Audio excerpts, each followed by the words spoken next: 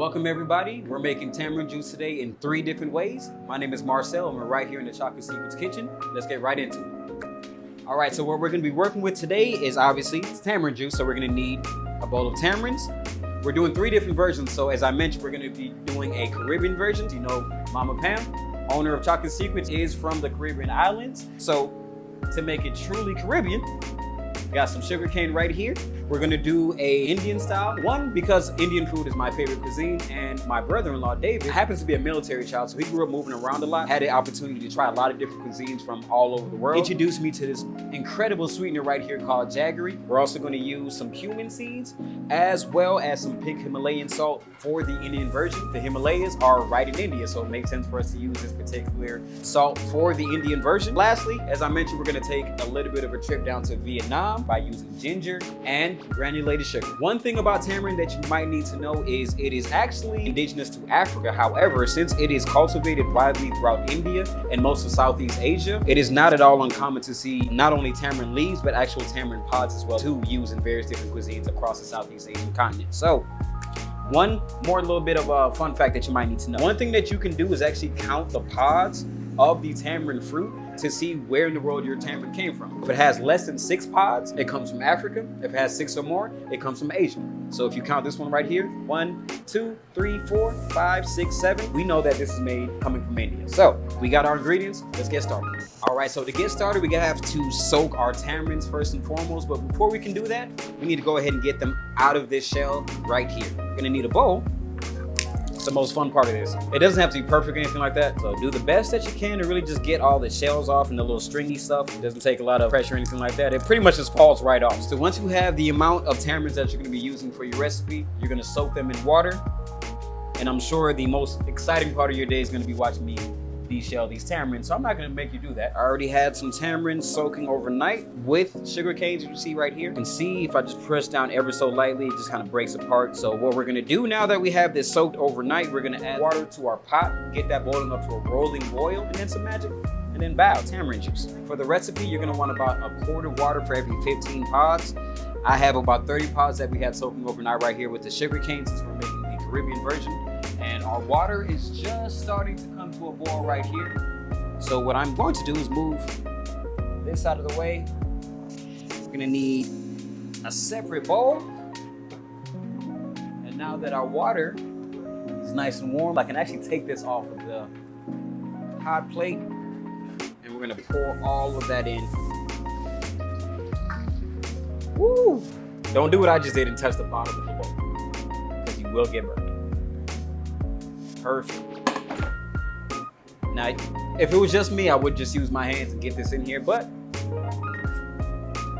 handy dandy tongs.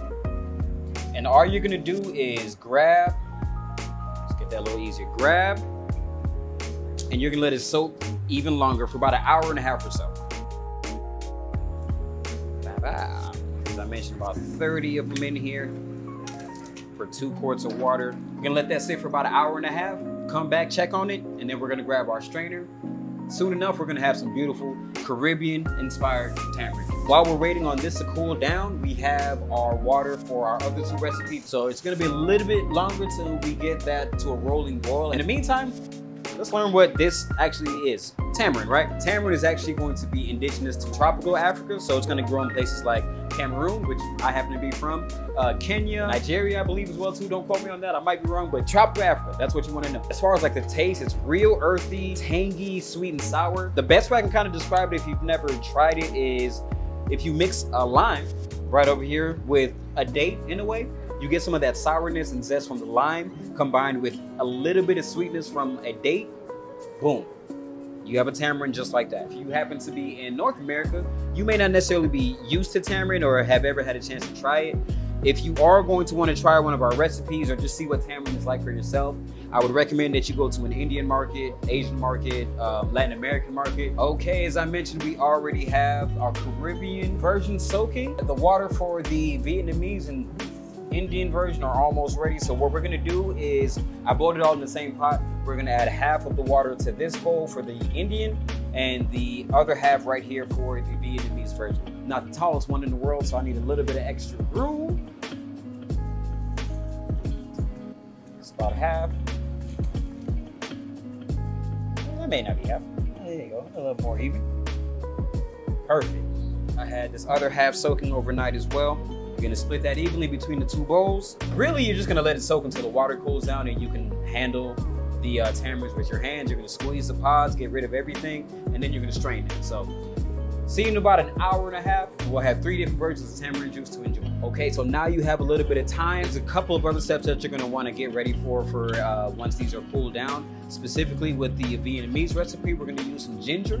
So you can take this time right now to get some of your ginger mints as well for the Indian recipe. We're gonna be using cumin as well too. So you can go ahead and take some time to get that grounded up to a nice little powder. So whenever everything's ready to go, you can just add plug and play in short. So grab a little piece of ginger right here. Gonna get rid of all of that skin. As you're carving, always be mindful. It's all about safety. So just be mindful that you are cutting away from yourself because the last thing that you want is a little accident as you are trying to make some beautiful tamarind juice. The ginger that you're using for your Vietnamese, you're gonna wanna mince that. It doesn't have to be incredibly fine. Mince it down to the point where it's easier for it to break down when it's simmering in the pot with the, our other ingredients. Something like this right here. As I mentioned, we're gonna need the cumin seed, so I can get these out of the way. Take some of our cumin seeds as well too. I'm gonna be using a mortar and pestle. If you don't happen to have one, you can still very much use the back end of your blade or if you happen to have like a spoon or something like that. So you don't necessarily need a mortar and pestle, but it does make things a lot easier. A little bit of space right here.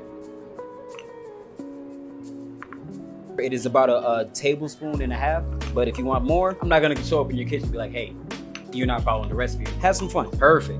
That is about the consistency that I like on mine right there. Not too fine, but you know, still a little bit of seeds in there.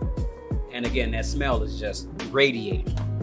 Okay, so it's been about an hour and a half. Um, our Caribbean mix has cooled down, so now we can go ahead and extract the seeds from the tamarind, put them in this empty bowl, and finish everything out by straining the remainder in a separate bowl right here. I'm gonna grab really as many as you're comfortable with, but I'll do one at a time just so you can see. It's not a difficult process by any means.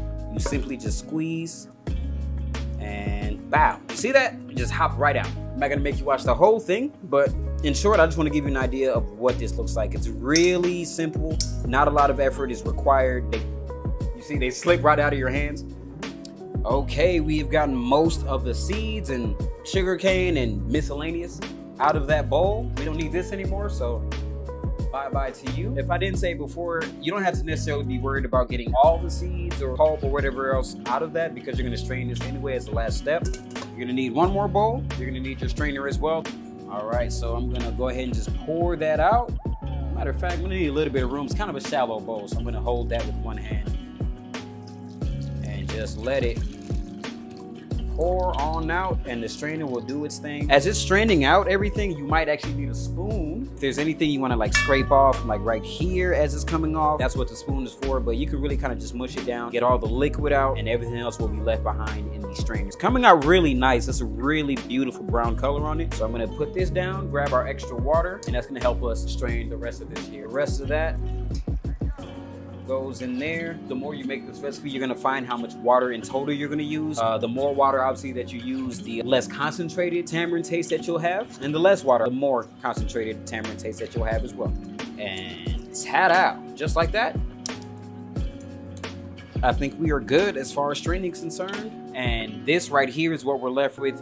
Pure tamarind and, uh, well, this case, sugar cane as well too, since we soaked some sugar cane in here it's ready to be enjoyed at this point. Next up, we're gonna finish out everything for the Indian recipe, and then last one is gonna be the Vietnamese recipe as well. Okay, Caribbean recipe is done. Next up is going to be our Indian recipe. Um, remember, there's no real major difference between the Indian and the Caribbean. The difference between the two, however, is that in the Indian one, we have not used any cane sugar to sweeten it. We're gonna use our jaggery right here. We're also gonna add our pink Himalayan salt and then a little bit of cumin powder that I made right here in our mortar and pestle. We're going to first add a little bit of jaggery. Love that pop sound, very satisfying. We're gonna use a teaspoon. I got a quarter teaspoon right here, so I gotta do this four times using our pink Himalayan salt.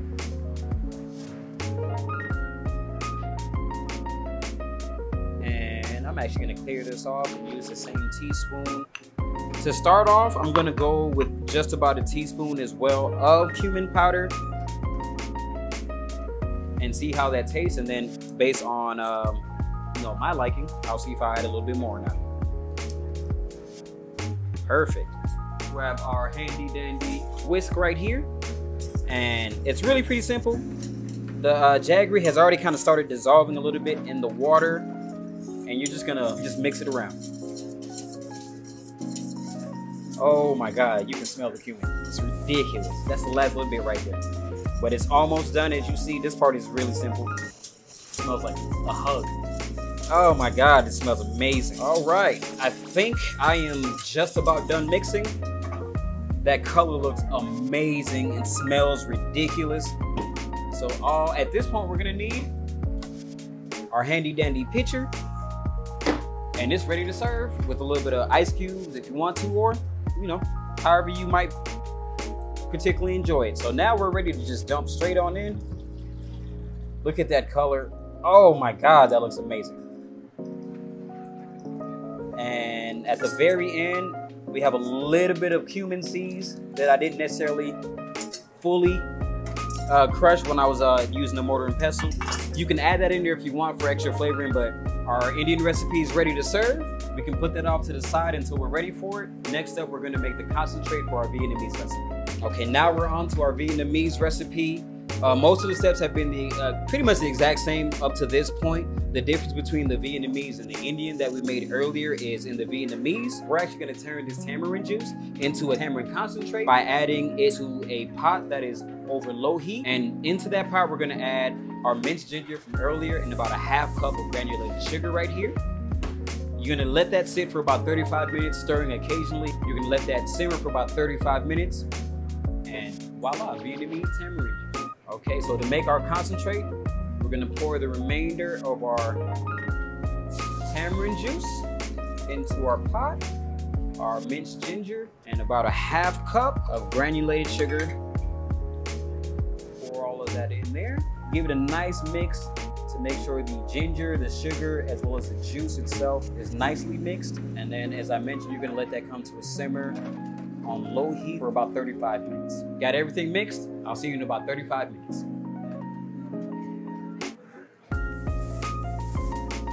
Okay, all the prep work is done. We've taken our concentrate off of the fire. Everything is cooled down. We put all the ingredients together. Now it's time to taste everything. So, uh, traditionally, these drinks are served with ice. So I'm gonna go ahead and add ice to our individual glasses right here. All right, so first off, if you remember, we made our Caribbean. That is going to be this one right over here. Time to pour it on up. Oh, that looks amazing. Next up, we made our Indian recipe. This is going to be mixed with uh, cumin seeds, pink Himalayan salt, and a little bit of jaggery as well. Ah. You can just smell the aroma everywhere, man. Oh my goodness, that's gonna be amazing. And then last one is gonna be the Vietnamese. If you recall, we had to make the concentrate for this one right here. It's still slightly warm since we just took it off the fire. What we're gonna do to finish this out, we're gonna add about a third cup of water into our glass. We're gonna need about one and a half to two tablespoons of our concentrate, which I have a tablespoon right here. I really like a lot of uh, tamarind flavor in mine, so I'm gonna use two tablespoons. But you can start with one and a half if you would like and just kind of figure it out uh, how much you really like to your taste after that. If you recall with the Vietnamese, we also added ginger and uh, about a half cup of granulated sugars. Before we add our last garnish of toasted coconut flakes, we just wanna mix this up a little bit. A lot of the concentrate might sink to the bottom.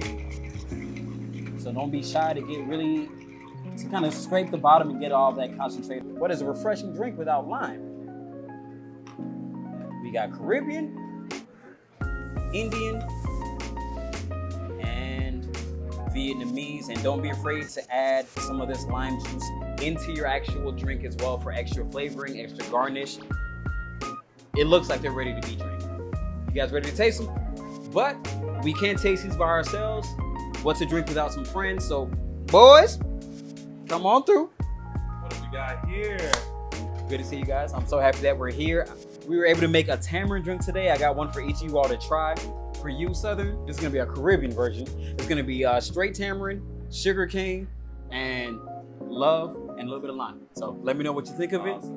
I had to make sure for myself that I had the Indian because the cumin seeds. Oh my goodness, the cumin seeds. For you, Armand, we have a bit of a specialty drink. It's going to be the Vietnamese version right here. We made that with our concentrate, the traditional toasted coconut flake garnish, and uh, a little bit of ginger as well too to hit you that extra spice. So go Cheers, ahead, boys. cheers, boys. Oh my God. Oh wow, No, that's fire, that's bro. really good. That's really good. Hey, That's ridiculous, bro. that's refreshing. Y'all have to have the, the Indian version. That is so sweet. I can do that. I could imagine laying on a beach and just sipping on this. I appreciate you making this, man. This is a new experience for me, so thank you, Armand. You finished it, huh? You already? So it looks like it was a success. There you go. This is another reason why India has my favorite cuisine. Oh my God, the cumin is ridiculous. I really want to try that one. Thanks so much again for joining us, guys. My name is Marcel. Let me know in the comments below what you think of the different recipes. If you don't mind me, I'm gonna go ahead and take off and enjoy the rest of mine. Have a great day.